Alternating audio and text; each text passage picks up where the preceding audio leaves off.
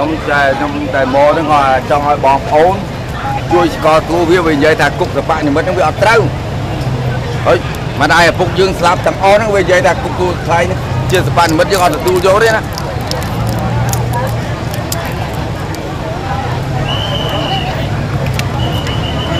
ហើយវិញអាឡាន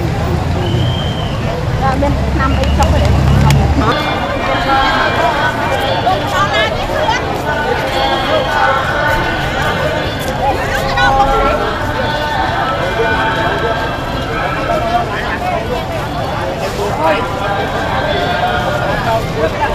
ប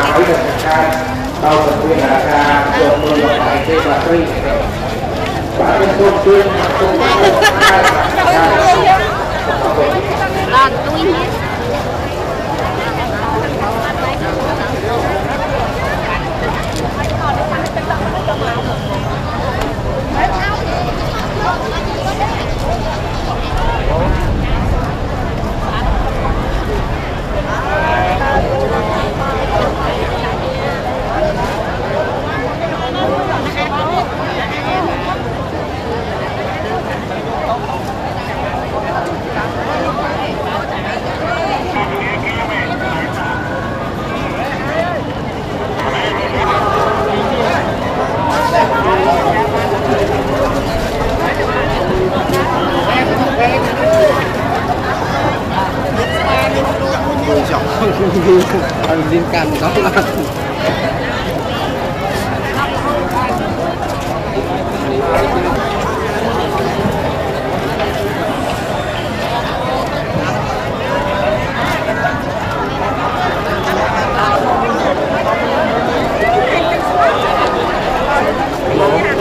cho là nát cho nên mặc xuống loại hơn Hãy subscribe cho kênh Ghiền Mì Gõ Để không bỏ lỡ những video hấp dẫn លកនេះកលកមកហើយណាមេសកាត់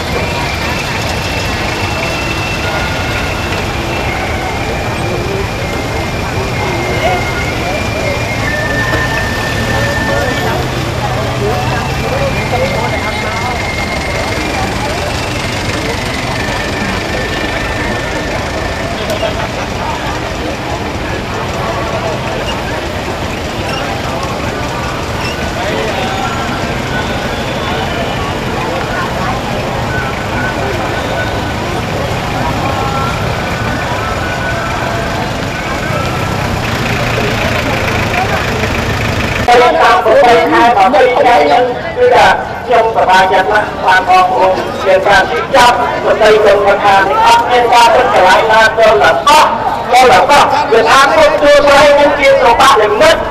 របស់វៀតណាមបាទវាថាសម្បត្តិនិមិត្តរបស់វៀតណាមជួរដាក់កម្មទៅខាគាត់ឈប់ពុកនៅជួរស្លាយងារយ៉ាងម៉េចបានគាត់ដឹងអារឿងហ្នឹង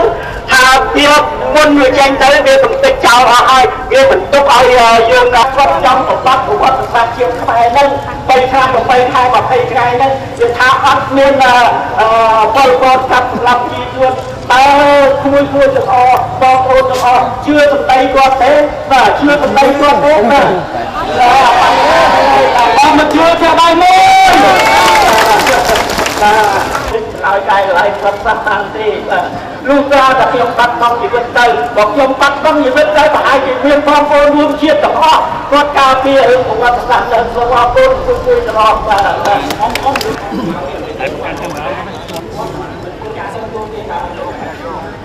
រឿងមួយរឿងខុសគាត់បាទជារឿងខុសគាត់គាត់ចង់សុំទោសទៅមិនសុំទោសទៅជារឿងខុសគាត់តែរឿងសំខាន់មកថា ខ្ញុំនិយាយតែពីពួកនោះទេខ្ញុំចង់ឲ្យតែគាត់មួយខ្ញុំថាមួយមកសុំទោសទេបាទបាទអបអបអបអបអបសុំសុំអបចង់មួយមកមកយើងទៀមទាឲ្យកម្មសខានេះគាត់មកសុំទោសនៅសារៈទីសួរស្លែងនឹងរឿងនេះបានកម្មសខាគាត់តែពុកបីទៅឯងកម្មសខាគាត់មិនមកអត់ សួរថាអឺ4ស្រាប៉ុណ្ណាទេអាពុកបីទៅឯងហ្នឹងនៅសួរស្លែងនឹងប្រមាណគាត់អត់យកតែបងប្អូនដែលឆ្លប់ទៅរបស់3ឆ្នាំ3ថ្ងៃគាត់អត់យកតែរឿងអីបានគាត់មកសុំទោសហើយចខ្ញុំអត់មានក្រុមដល់ពីគណៈបកណាទេមួយដឹងយ៉ាងហើយយ៉ាងតែទាំងអស់ដឹងស្រាប់ហើយថាជុំមីនៅសារៈទីទួលស្វែងដឹងសាលាដីអីគេទទួលពាក្យបណ្ដឹងផងខ្ញុំ រឿងអីមានពីណានៅពីក្រោយខ្ញុំអត់មានយដាច់ខាតខ្ញុំធ្វើដោយឆន្ទៈរបស់ខ្ញុំឥឡូវមិនតែខ្ញុំខ្ញុំលេងមួយទេសូម្បីនៅខេត្តក្រៅក៏ចេះជឹងត្រេកបាត់បង់ពីរៀបអីនឹងទេរបស់ខ្ញុំមកពីតែបាត់យកទៅដល់ខ្ញុំបាត់ទូរស័ព្ទបាត់ទូរស័ព្ទបាត់បាត់មកទូខ្ញុំបាទហើយអស់បើសិនមកអស់នឹងខែណាទៅកាន់គណៈបព្វជិទៀតហើយហើយគាត់នៅតែមិនចូលទៅយ៉ាងម៉េចអឺគាត់នៅតែមិនចូលអានេះជារឿងរបស់គាត់ យើងត្រូវតែមាន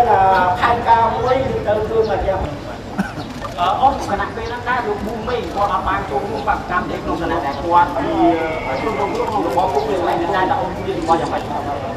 រឿងភូមិជារឿងផ្សេងរឿងនេះមិនជារឿងសមាគមខុសហើយអ បញ្ហានឹងខុសហើយណាបាទបាទជុំជុំអង្គបាទសូមសូមអធិស្ឋានជុំបងបងទៅសូមអធិស្ឋានបងបងអ្នកខ្សែចប់ប្រូឡាននេះជប់លេងរួយបាទបាទឥឡូវបាទសូមសូមចប់ទៅខាងក្រុមហើយចាប់សួរដែលបាត់បង់ម្ដាយបាត់បង់ប្អូនប្រុសទីស្រឡាញ់បានបាត់បង់ជីវិតដោយអយុត្តិធម៌នៅក្នុងគុកសួរថ្លែងក្នុងនាមខ្ញុំជាសាច់ញាតិបាទជាឈាមជ័ររបស់អ្នកបាត់បង់ជីវិតនៅគុកសួរថ្លែងខ្ញុំសូមអឺ ធ្វើមតិការពារកិត្តិយសវិញ្ញាណក្ខន្ធដែលបានបាត់បង់នៅក្នុងគុកទួលស្លែងរួមទាំងនិស្សិតបញ្ញវន្តធ្វើត្រង់ទាំងអស់បន្តិចជាង20000នាក់ដែលបានបាត់បង់ជីវិតនៅទីនោះខ្ញុំសូមអះអាងថាគុកទួលស្លែងដែលជាកន្លែងធ្វើជារនកម្មយ៉ាងខុសនៅសហបំផុតនៅក្នុងអតីតកាលពីជិត40ឆ្នាំមុនបាទ បាទដូច្នេះខ្ញុំមិនព្រមអឺឲ្យលោកកឹមសុខាដែលជាអ្នកនយោបាយមកជាន់ឆ្លីប្រវត្តិសាស្ត្រពិតទៅជាប្រវត្តិសាស្ត្រដែលយកមកលេងសើចក្នុងរឿងនយោបាយរបស់គាត់ទេបាទខ្ញុំសូមអរគុណនេះគៀកចូលគ្នាទៅ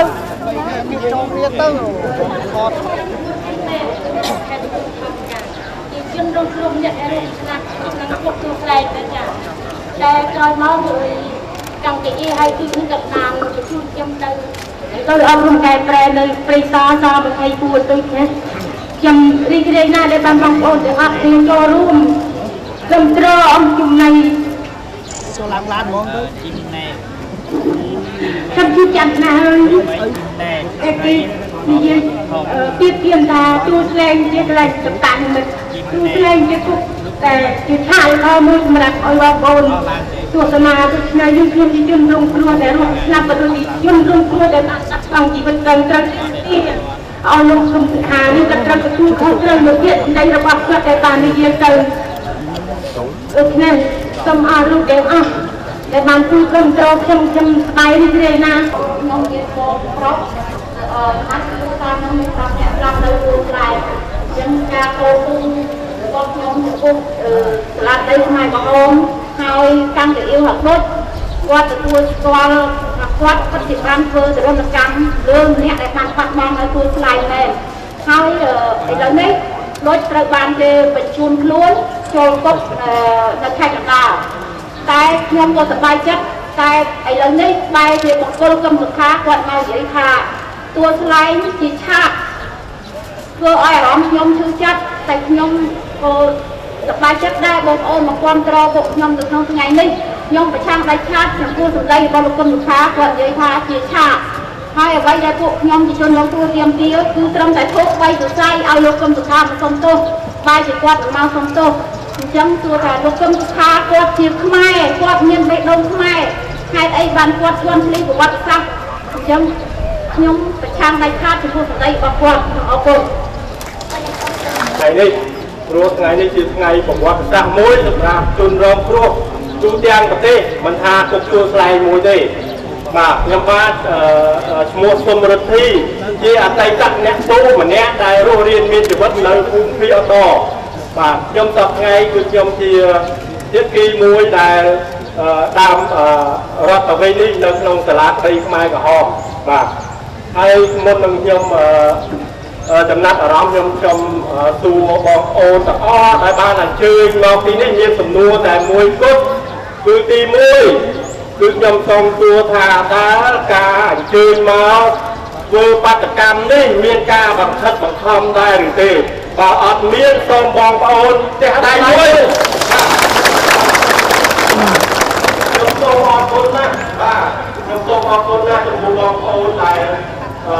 មិនភ្លេចគឺប្រវត្តិសាស្ត្រ3ឆ្នាំ8ខែ20ថ្ងៃនេះគឺយើងរំបាកវេទនាណាស់ទាំងបងប្អូននៅរស់នៅនិយាយទៅរស់នៅក្នុងប្រទេសទាំងអស់ទាំងនៅក្នុងក្នុងសហគមន៍ទាំងនៅក្នុងក្នុងគុកដូចជារូបខ្ញុំនៅរស់នៅក្នុងគុកគឺជីវិតខ្ញុំវេទនាណាស់ដូចជាកន្លែងឋាននរកកន្លែងឋាននរកដែលបងប្អូនធ្លាប់តែឮតែខ្ញុំចូលប្រឡូកក្នុងគុកខ្មែរក្រហមពុកពីរដងនេះគឺខ្ញុំ បានទទួលស្គាល់ថាឋាននរកគឺក្នុងរបបខ្មែរក្រហមនេះហើយជាឋាននរករបស់មនុស្សយើងទូទាំងពិភពលោកមិនថាប្រជាជនខ្មែរទេតែខ្ញុំសោកស្ដាយយ៉ាងខ្លាំងចំពោះលោកគឹមសខាដែលលោកមិនទទួលស្គាល់អឺគុកទួលស្លែងដែលតុលាការខ្មែរក្រហមកំពុងតែកាត់ទោសកាំងរែកជាវឲ្យដឹក សំណុំក្នុងសំណុំរឿងតូចតូចមួយនេះហើយតុលាការបានទទួលស្គាល់ថាគុកទួលស្លែងគឺជាគុកមជ្ឈិមរបស់គុកខ្មែរក្រហមហើយបានដាក់ទោសដូចអស់មួយជីវិតហើយនៅពេលថ្មីថ្មីនេះគឺបុតបានបញ្ជូនពីពីគុកភូមិខាំងនៅសាលាក្តីគឺបញ្ជូនទៅគុកនៅខេត្តកណ្ដាលអានេះខ្ញុំសូមអរគុណយ៉ាងខ្លាំងចំពោះសាលាការដែលបានបញ្ជូនបុតទៅដាក់គុកនៅខេត្តកណ្ដាលបាទ បាទខ្ញុំអរគុណយ៉ាងខ្លាំងខ្ញុំមកហើយក៏ខ្ញុំសូមអរគុណបងប្អូនទាំងអស់ដែលមានអដមគតិស្រឡាញ់ជាតិស្រឡាញ់យុទ្ធធម៌ដូចខ្ញុំដែរគឺខ្ញុំការទៀមទារបស់ខ្ញុំគឺទៀមទាដោយផ្លូវច្បាប់គឺយុទ្ធធម៌ខ្ញុំអត់មានប្រើអំពើហិង្សាទៅដាក់លើបងប្អូនណាទេក៏ហើយខ្ញុំជម្រាបបងប្អូនថាខ្ញុំបាតកម្មនេះគឺអត់មានការគ្រប់គ្រងពីក្រោយខ្នងពីគណៈបកណាមួយទេព្រោះ ពីម្សិលមិញខ្ញុំបានធ្វើសេចក្តីថ្លែងការណ៍មួយដើម្បីឲ្យតំណាងរាស្ត្រគ្រប់គណៈបកទាំងអស់អញ្ជើញមកចូលរួមនៅក្នុងបដកម្មនេះដើម្បីទទួលស្គាល់ជនរងគ្រោះក្នុងរបបខ្មែរក្រហមដែលមានជនអឺអឺសពលម្នាក់ព្រោះខ្ញុំសខាបដិសេធមិនទទួលស្គាល់អានេះខ្ញុំសូមបញ្ឆាំងដាច់ខាតរហូតដល់លោកគឹមសខាមកអត់មុខនៅទួលស្លែងអឺ ដើម្បីគោរពវិញ្ញាណក្ខន្ធអ្នកដែលស្លាប់នៅក្នុងទួលស្លែងហើយនឹងដូចជាលោកតាជុំមីនេះដែលគាត់រស់រានមានជីវិតនៅក្នុងគុកទួលស្លែងដែលផុតពីការស្លាប់របស់ខ្មែរក្រហមអឺក្នុងនោះដែរខ្ញុំសូមជម្រាបថាអ្នកដែលជាប់គុកនៅក្នុងទូទាំងប្រទេសទាំងទួលស្លែងទាំងភូមិភាគផ្សេងៗទៀតគឺលំបាកវេទនាណាស់សូម្បីតែឃ្លានទឹកឃ្លានបាយ ក៏ក៏ក៏គ្នាមុននឹងដាច់ចោលស្លាប់គ្នាថាឲ្យបានតែទឹកមកចាប់អែតឬបាយតែមកស្លាប់ព្រាក៏គ្នាមកចិត្តដែររហូតពួកខ្មែរក្រហមនឹងបាក់ដាក់ឆ្លោះជើងរហូតអីអឺអឺបង្អត់អាហារឲ្យខ្លួនដូនស្គាំងស្លាប់ដាច់ចោលស្លាប់ទាំងឈឺចាប់ហើយហើយអត់មានអ្នកស្លាប់នោះគឺអត់មានអត់មានបាត់ភ្នែកទេអត់មានបាត់ភ្នែកទៅទោះអត់មានបាត់ភ្នែកទៅគឺបាត់ភ្នែកកន្លក់កន្លក់ទាំងអស់ព្រោះ ព្រោះថាអ្នកផ្សេងអ្នកដែលស្លាប់នៅក្នុងពុកពុកវាអតនឹងយកទៅកប់សពថ្ងៃនោះគឺកន្លែងកប់គឺចូលទទួលខុសត្រូវមុខច្បាប់ទាំងអស់បាទបងប្អូនអ្នកកសែតណាឬក៏សាលាការចង់ដឹងពីបញ្ហារឿងពិតគឺខ្ញុំបង្ហាញបាត់បង្ហាញបានបើបើមិនបើមិនមិនពិតដូចជាពាក្យខ្ញុំថានេះខ្ញុំមានទទួលខុសត្រូវមុខច្បាប់បាទសូមអរគុណបាទរដ្ឋាភិបាលខាង គុកទួលស្លែងជាសម្បត្តិមួយ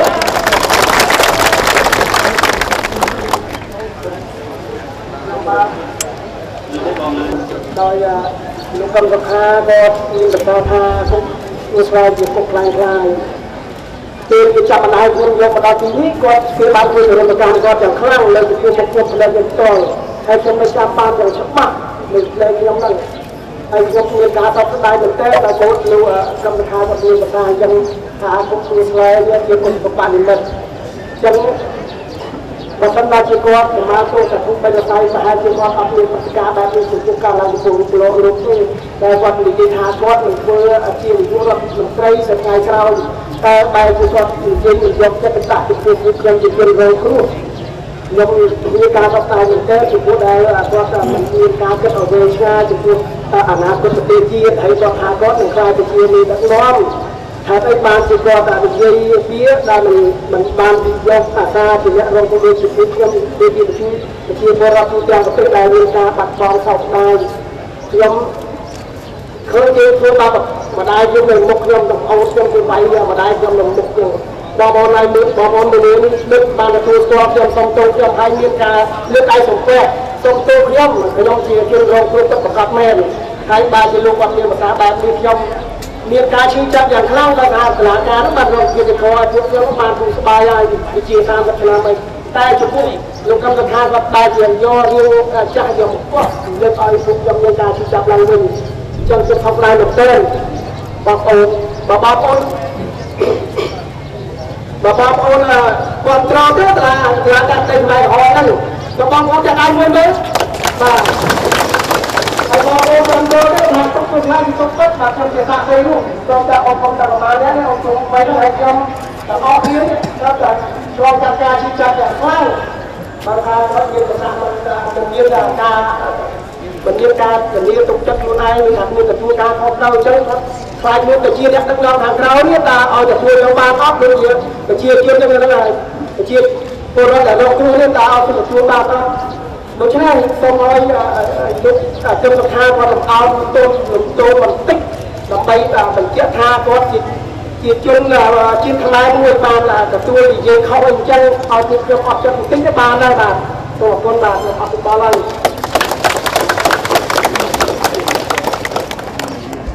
គឺចំពោះសម្ដីលោកកឹមសុខាដែលបានលើកឡើងថាគុំទួលស្លែងជាគុំសម្បត្តិមិត្តដូច្នេះខ្ញុំចង់សួរបងប្អូនអស់លោកអ្នកស្រីដែលមានមុខនៅទីនេះថាតើអស់លោកជឿសម្ដី ដែលលោកកឹមសុខានិយាយដែរទេ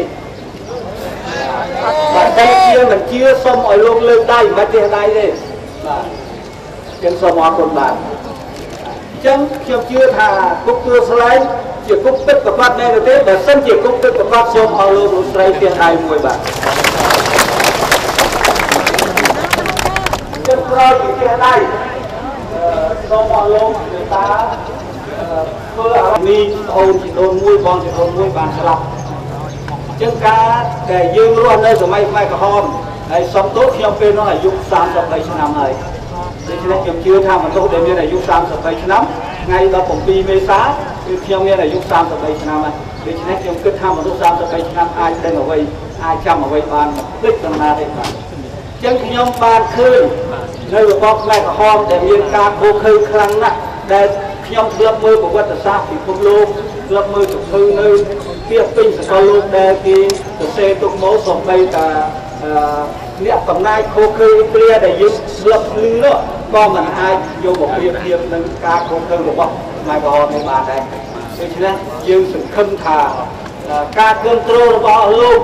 លោកស្រីនៅពេលនេះថាតើលោកជឿសម្ដីលោកកឹមសុខាដែរទេខ្ញុំគិតថាប្រហែលជាមិនជឿទេព្រោះអស់លោកបានគិតមិនអាចហាមិត្តនិយាយពីនេះបានទេបងប្អូនជឿទេបាទបើសិនជាបងប្អូនជឿគឺថាសូមបងប្អូនគិតដោយខ្លួនឯងថាតើយើងអនុញ្ញាតឲ្យគិតរួចផុតពីប្រវត្តិសាស្ត្រដែលអឺដែលប្រកបជាទូគិតបានទេបាទ ចឹងខ្ញុំគិតថាបងប្អូនទាំងខ្ញុំទាំងបងប្អូនมันអាចធ្វើទោសទណ្ឌអីគិតមែនប៉ុន្តែយើងសុំឲ្យប្រវត្តិសាស្ត្រជាស្ដីបន្ទោសគិតថាគិតជាកូនអកតញ្ញូសូម្បីតែពលពតយកទុកខ្លួនឯងដែលលោកកឹមសុខុនផ្លៃការនៅស្វ័យរៀងនោះយើងក៏បានរៀនលោកគ្នាហើយលោកនិយាយគិតថាពលពតគិតអាយុ10ឆ្នាំពលពតមកទៀនលពុកគិតពីទ្រូងគិតយកទៅបាញ់ចោលចឹងយើងគិតថាកូនកតញ្ញូទេ ដែលលើកឡើងថារបស់ពលពតមិនមែនសម្រាប់មនុស្ស